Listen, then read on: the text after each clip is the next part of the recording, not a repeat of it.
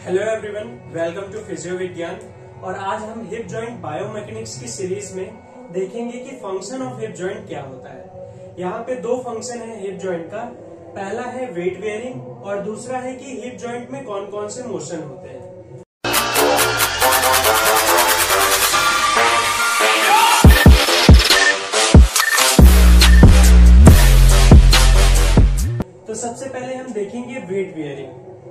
Hip joint transmit the weight of head arm and trunk hip joint जो होता है, वहाँ से आर्म हेड और ट्रंक का जो पूरा का पूरा वेट होता है, वो हमारे हिप जॉइंट के होते हुए ग्राउंड में जाता है। ये हमारे हिप जॉइंट का पहला फ़ंक्शन है कि वो क्या करता है वेट वेयरिंग में हेल्प कराता है। जो दूसरा है, वो क्या है कि हिप जॉइंट में हमारे दो मोशन होते हैं। हिप जॉइंट में हमारे दो मोशन होते हैं, जिसमें पहला हम क्या देखेंगे कि पेल्विस जो है हमारा पेल्विस मीन्स जो हमारी हिप बोन है पेल्विक बोन है, वो हमारी फिक्स रहेगी और जो हमारा फीमर है, वो क्या करेगा मूव करेगा। मतलब कि ये open kinematic chain open chain movement होगा। है ना? ओपन चेन मूवमेंट वो होते हैं जिसमें कि हमारा पैर, हमारा जो फुट है ग्राउंड से अटैच नहीं रहता है, वो ग्राउंड से ऊपर रहता है और सारी की सारी जो लेग की मूवमेंट्स होती है, जो हमारे हिप जॉइंट की मूवमेंट्स होती है, वो सारी की सारी ओपन चेन में आती है। मतलब कि पेल्विस हमारा फिक्स रहेगा, लेकिन फीमर टिबिया फुट हमारी फिक्स नहीं रहेंगी। ये फीमर टिबिया और फुट सारी की सारी मूव करेंगे। तो वो सारे के सारे किसमें आएगा? हमारे ओपन चेन मूवमेंट्स में। अब जो हमारा पेल्विस रहता है, जो हमारा हिप जॉइंट है, उसमें जो पेल्विस में एसिटाबुलम कैविटी है, वो कनकेव शेप की होगी, और जो फीमर का हेड रहता है, वो कन्वेक्स शेप का रहेगा, है ना? तो यहाँ पे क्या है? जो कनकेव शेप है जो एस्टेबुलम कैविटी है, वो फिक्स है। कनकेव फिक्स और कन्वेक्स मूव और जो हिप जो हमारे फीमर बोन का हेड है, वो मूव करेगा। और फीमर कैसा है? फीमर का हेड कन्वेक्स है। तो कनकेव फिक्स रहेगी और कन्वेक्स मूव करेगा। अब हमारे हिप जॉइंट में कौन कौन से मोशन होते हैं? तो सबसे पहला आता है फ्लेक्शन और एक्सटेंशन हम बोन की मदद से देखेंगे कि कैसे फ्लेक्शन और एक्सटेंशन हमारे हिप जॉइंट में होता है। तो ये हमारी पेल्विक बोन है और ये हमारी फीमर बोन है। पेल्विक बोन में जो हमारा ये आउटर सरफेस है, उसमें एसिटापुलम कैविटी है और इनर सरफेस जो कि अंदर साइड रहेगा। अब यहाँ पे हमारा हेड आर्टिकुलेट करता है।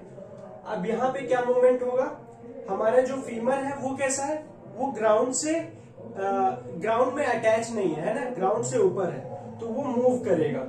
वो जब सीधा flexion this moment is the flexion ये जो मूवमेंट हो रहा है ये क्या है?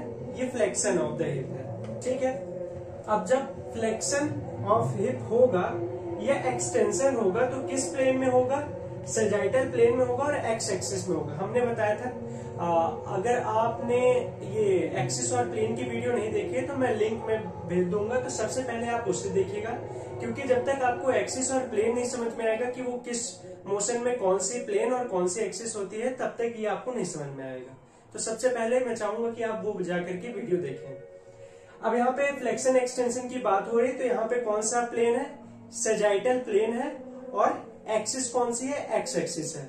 हमेशा ही हम जानते हैं कि जो एक्सिस होगी, वो प्लेन की क्या होगी? परपेंडिकुलर, मोशन के परपेंडिकुलर होगी। तो ये है फ्लेक्शन और एक्सटेंशन, जिसमें कि फ्लेक्शन ये मूवमेंट है, और एक्सटेंशन में हमारा जो फीमर है, वो पीछे की ओर जाएगा। दूसरा मूवमेंट हमारा कौन सा है? एबडक्शन और एडक्शन। एबडक्शन और एडक्शन में क्या होगा?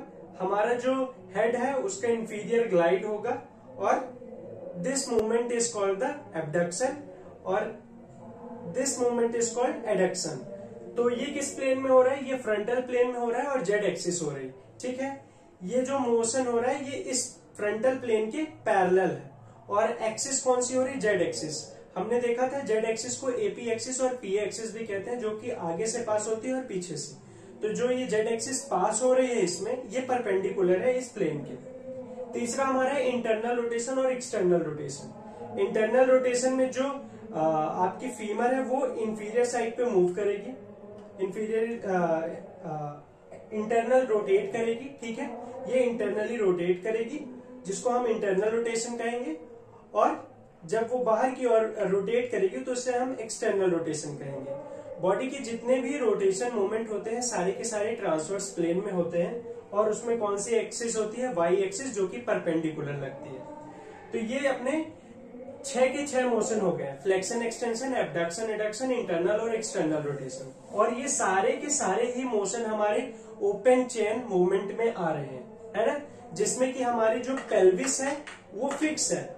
और मूव कौन कर रही है? फीमर मूव कर रही है।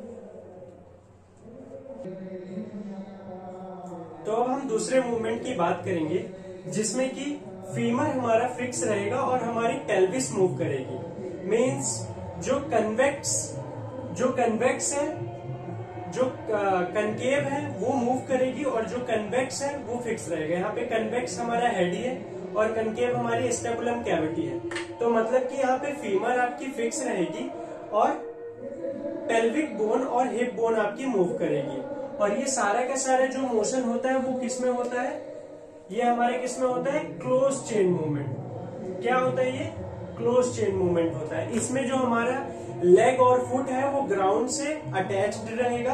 बाकी हमारी क्या मूव करेगी? केवल पेल्विक बोन मूव करेगी। अब यहाँ पे हम देखेंगे कि सबसे पहला मूवमेंट कौन सा हो रहा है? एंटीरियर पेल्विक टिल्ट और posterior pelvic tilt anterior pelvic tilt और पोस्टीरियर पेल्विक टिल्ट हमारी फीमर एक फिक्स है और ये हो रहा है हमारा एंटीरियर पेल्विक टिल्ट है ना? अगर आप देखोगे ऐसे तो ज़्यादा अच्छे समझ में आएगा। ये हमारा एंटीरियर पेल्विक टिल्ट है और ये हमारा पोस्टीरियर पेल्विक टिल्ट है।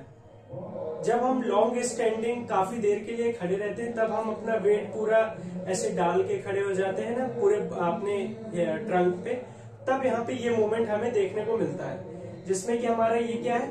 एंटीरियर पेल्विक टिल्ट और ये पोस्टीरियर पेल्विक टिल्ट और ये दोनों ही मोशन हमारे सेजाइटल प्लेन और एक्स एक्सिस में हो रहे हैं। दूसरा हमारा फॉरवर्ड रोटेशन और बैकवर्ड रोटेशन है।